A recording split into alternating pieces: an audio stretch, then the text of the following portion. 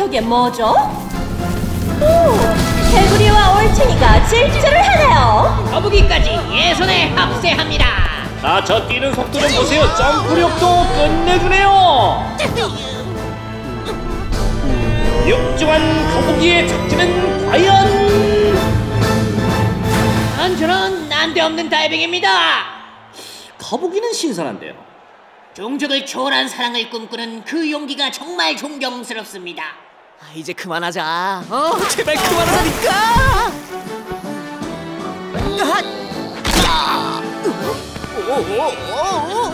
아, 이건 뭔가요? 개구리 서커스인가요?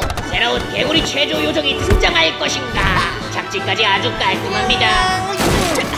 아,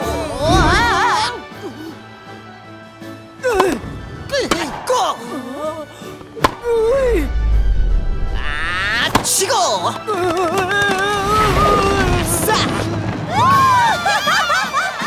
이야, 모든 종목에서 뛰어난 기량을 자랑하는 괴물 선수의 등장.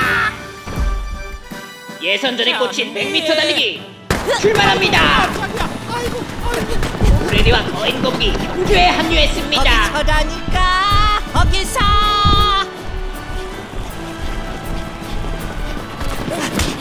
한 선수가 뒤쳐집니다. 한 마리 빠이빠이군요. 어, 어, 됐네. 아, 이리야.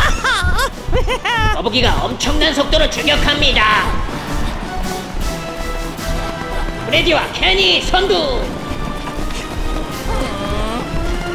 선수들이 마지막 힘을 짜냅니다.